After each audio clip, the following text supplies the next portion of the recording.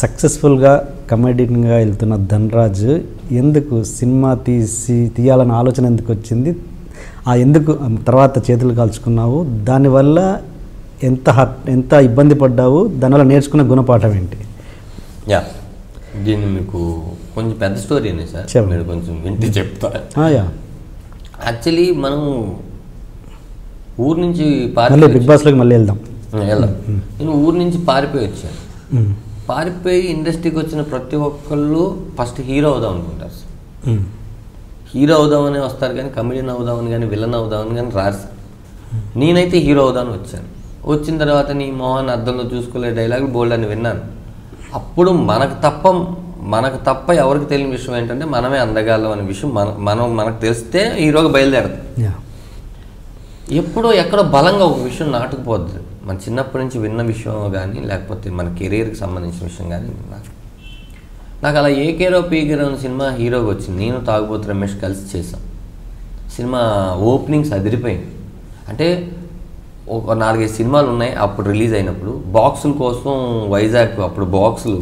వైజాగ్లో ఒకరి మీద ఒకరికి టికెట్ కోసం అంటే ఇంత క్రేజ్ సంపాదించుకున్నాం అనేసరికి తెలియకుండా ఎక్కడో ఒక చిన్న బలుపు వచ్చేస్తుంది మనిషి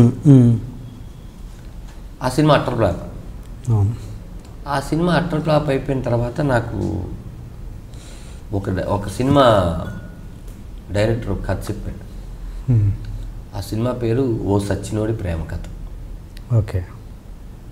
నాకు వినంగానే ఇది నేను తప్ప ట్రైలర్ మీద ఇంకెవరు లేరని ఫిక్స్ అయిపోయి ఫిక్స్ అయిపోయి ఉన్న టైంలో ఆ ప్రొడ్యూసర్ చేతులు ఎత్తేసారు ధనరాజ్ హీరో ఏంటయ్యా ధనరాజ్తో సినిమా తీయడం ఏంటని ఎవరో చెప్పారని విషయం ఆయన చెప్పి నేను నీతో సినిమా తీయనని ఫ్రాంక్గా చెప్పేశాడు. అయిపోయింది నేను సినిమాలు చేసుకుంటే హ్యాపీగా ఉన్నాను.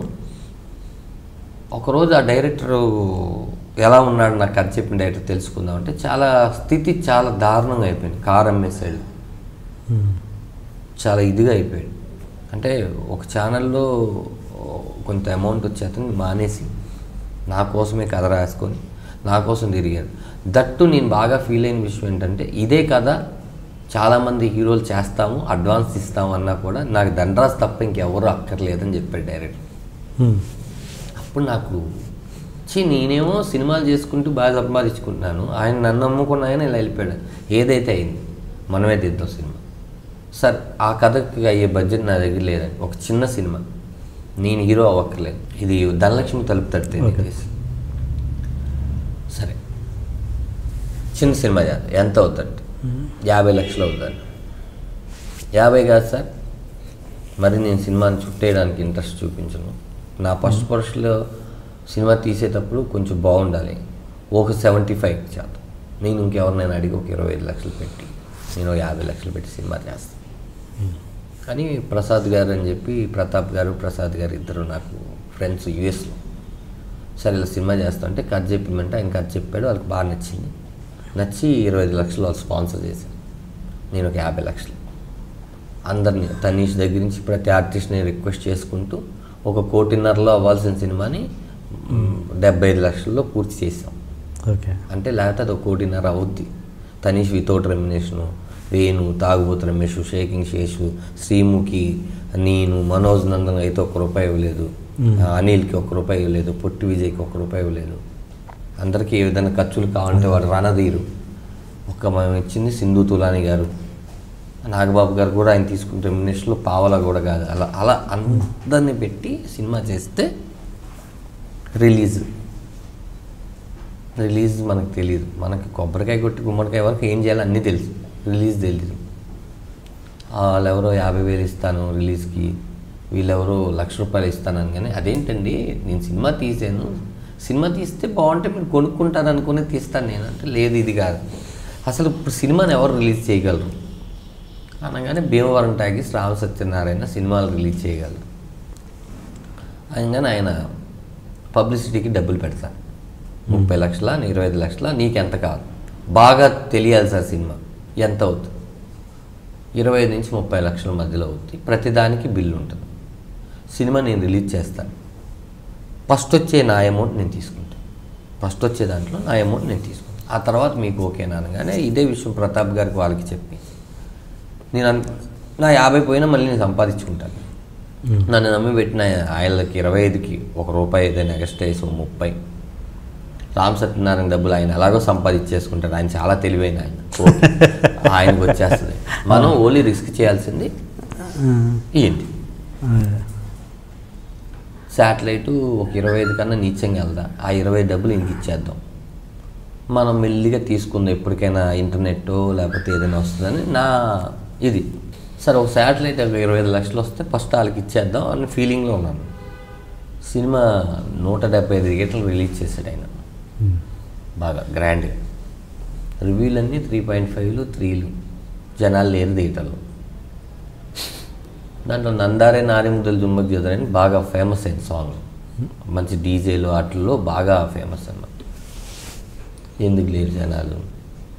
మెల్లిగా ఒక్కో థియేటర్ శశికళ హౌస్ఫుల్స్ టికెట్లు కానీ డబ్బులు లేవండి డబ్బులు రాలేదన్నాడు అప్పుడు అర్థమై కూర్చొని డబ్బులు రాలేదంటే అసలు ఏంటి అనగానే దానికి ఒక నెట్టు షేరు గ్రాసు గీసు అన్నీ ఉన్నాయి. అంటే ఒక సినిమా టికెట్ తీసుకున్న ప్రేక్షకుల దగ్గర నుంచి వన్ వీక్లో డబ్బులు రావాలంటే థియేటర్ రెంట్లు పోవాలి ఈ రెంట్లు పోవాలి అన్నీ మనకు అప్పుడు తెలిసినాయి. నేను అనుకున్నాను రిలీజ్ అవుతుంది టికెట్ డబ్బులు వచ్చేస్తే మినిమం మన డెబ్బై ఐదు లక్షలు కూడా రాకపోతే ఎట్లా అనుకుని ప్రాసెస్లో ఉన్నాను నాకు. జీరో నాలెడ్జ్ బిజినెస్లో. డిస్ట్రిబ్యూటర్లు రావాలి వీళ్ళకి రావాలి వాళ్ళకి రావాలి వీళ్ళకి రావాలి మొత్తం మీద తిప్పి కొడితే అన్నీ పోగా అంటే డెబ్బై ఐదు లక్షలుకి ఈయన పెట్టిన డబ్బులు మొత్తం కోటి రూపాయలు సంథింగ్ మొత్తం పోగా ఎనిమిది లక్షలు మిగిలినాయి. టోటల్ ఇదంతా పోయినాయి డబ్బులు. ఓన్లీ ఆయన పెట్టిన పబ్లిసిటీ దాంట్లో ఎనిమిది లక్షలు వచ్చింది ఓకే. ఫస్ట్ పేమెంట్ ఆయన తీసుకుంటా అన్నాడుగా తీసుకున్నాం నేను అప్పు మళ్ళీ కట్టాలి. అప్పు కట్టాలి ఏంటి? శాటిలైట్ రాపించు ఇంటర్నెట్ రైట్స్. శాటిలైట్ ఒకవేళ యాభై లక్షలు వస్తే నా డబ్బులు నేను తీసుకొని మిగతా ఇచ్చేస్తాను. నేను ట్రై చేస్తాను నువ్వు ట్రై చేయి. అలా ట్రై చేసి ట్రై చేసి ఇంకా భీమ్ మన వాళ్ళ మొహం చూపించడం నా వల్ల కాలేదు ఎవరికి. వీళ్ళకి ప్రసాదానికి ప్రతాపం మా బిజినెస్లో ఏదో లాస్ వచ్చింది అనుకుంటున్నాను వదిలేయండి అన్నారు వాళ్ళ అమ్మాయి థ్యాంక్స్ అన్న. కానీ ఎప్పుడో ఏదో ఒక రోజు మీరు రుణం తీర్చుకుంటాను నేను. మళ్ళీ యూఎస్ వెళ్తే బాగా మాట్లాడతారు అంత లేదు కానీ నాకు ఒక గిల్టీ వెళ్ళంగానే ఫోన్ చేయంటే ఆ ధైర్యం అంత అంత ముందులాగా లేదు. మా ఇంట్లో ఏంటంటే అఫిషియల్గా ఇరవై ఐదు లక్షలు తెలుసు సినిమాకి పెడుతున్నాను అన్అఫిషియల్గా యాభై లక్షలు అని వాళ్ళకి. వాళ్ళు ఇరవై ఐదు వీళ్ళు ఇరవై యాభై సినిమా తీస్తా అని చెప్పాను కానీ యాభై మనమే పెడుతున్నాం వాళ్ళు సపరేట్ ఇరవై ఐదు అని తెలియదు. ఇంట్లో గొడవ. వాళ్ళు డూప్లెక్స్ కట్టుకున్నారు వీళ్ళు ఒక ఇల్లు కట్టుకున్నారు యాభై లక్షలు ఇల్లు. ఏం నువ్వు? మొత్తం మళ్ళీ రోడ్డు మీద తెచ్చేసావు మా ఆవిడ. అసలు నువ్వు నేను పెళ్ళి చేసుకున్నప్పుడు నా దగ్గర ఒక రూపాయి కూడా లేదు నీకు తెలుసు కదా. అప్పుడే హ్యాపీగా ఉన్నాం. ఇప్పుడు ఇంకో పదిహేను లక్షలు ఇరవై లక్షలు ఉంటాయి బ్యాంక్ బ్యాలెన్స్. ఇప్పుడు హ్యాపీగా లేవు. ఇది కాదు నేను మళ్ళీ సంపాదిస్తాను ఇక్కడ ఆర్బీఐ అనే దగ్గర నుంచి కొంత అమౌంట్ ముద్రించబడుతుంది ఇంతే అని. అది ట్రావెల్ అవ్వుకుంటూ మళ్ళీ వస్తూ ఉంటుంది. ఎవరి దగ్గర ఎక్కువసేపు ఉంటే ఆడు కోటీశ్వరుడు అనుకుంటుంది లోకం అంతే. కానీ అది నీ దగ్గరికి మళ్ళీ వచ్చి నా దగ్గరికి వస్తుంది. ఇది నా క్యారెక్టర్ ఎవరి దగ్గర ఎక్కువసేపు ఉంటే ఆడు కోటీశ్వరుడు అనుకుంటే అలాగా. నేను కలమ్మ తల్లి దగ్గర నుంచి సంపాదించుకొని మళ్ళీ కలమ్మ తల్లికే పెట్టా. మళ్ళీ నాకు ఆవిడ ఇచ్చేస్తుంది.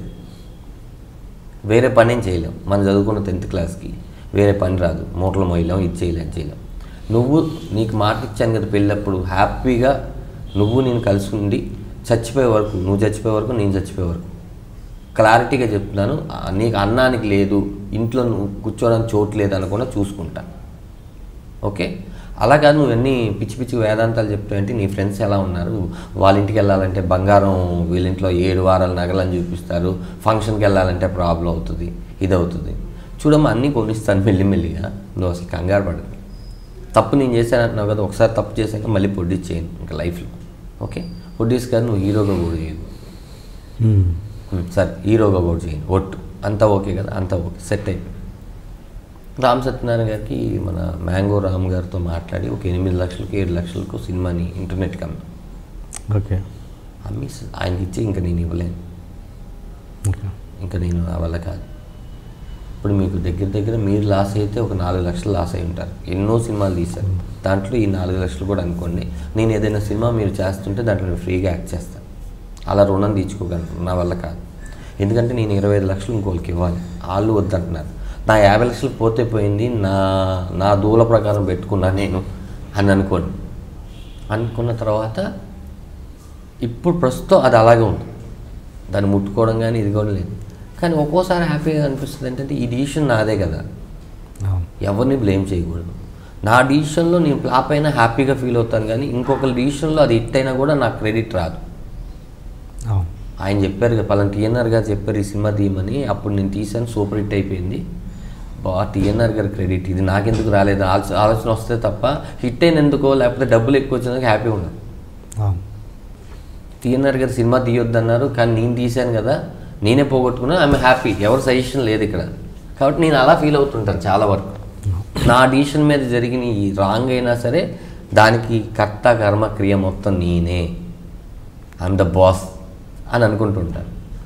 ఇప్పటికీ చాలామంది ఏంటంటే అలాంటి పొరపాటు పొరపాటు కాదు సార్ ఇది. సినిమా మీద ఫ్యాషన్తో వచ్చిన వాళ్ళం.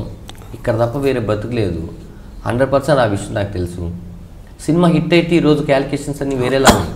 ధనరాజు లేపేసి ఆయన డిసిషన్ సూపర్ అసలు. ధనరాజు ఇంత చిన్న వయసులో చాలా మారిపోతాయి ఒక్క హిట్ ప్లాప్తో మనకి ప్రతి గురువారం మనకి దినదిన గండం లాగా ప్రతి గురువారం గండమే కాబట్టి సరే ఎప్పుడో ఏదో ఒక రోజు మళ్ళీ మీరు మెచ్చుకునే పని నేను చేయకపోతానా అని నా కాన్ఫిడెన్స్ సార్ అంతే. సినిమా తీసినందుకు ఇప్పుడు కూడా నేను బాధపడలేదు ఇంట్రొడక్షన్ కొంచెం హెవీగా ప్లాన్ చేసాం సార్.